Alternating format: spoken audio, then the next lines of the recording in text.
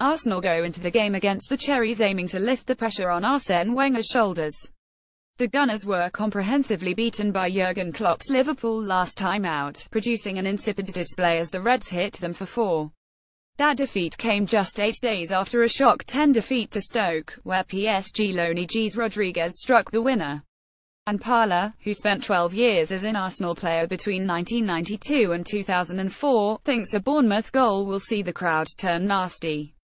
Friday, September 8, 2017 Arsenal have been training hard ahead of their clash with Bournemouth Arsenal News If Bournemouth score there could be riots at the Emirates Ray Parlour This is such an important game.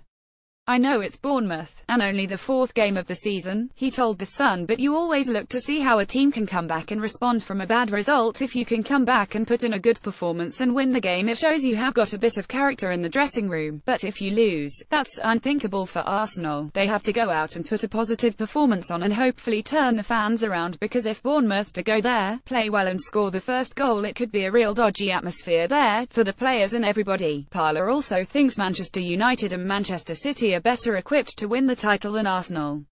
Getty Arsenal News Ray Parlour thinks there could be riots at the Emirates See no they want to be challenging for the title but I look at the Manchester clubs and they are just too strong, he said.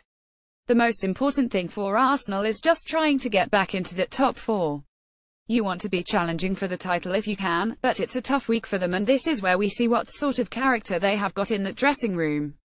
I am sure he will rest players for the Europa League game. He has to put a very strong side out against Bournemouth because he needs the result.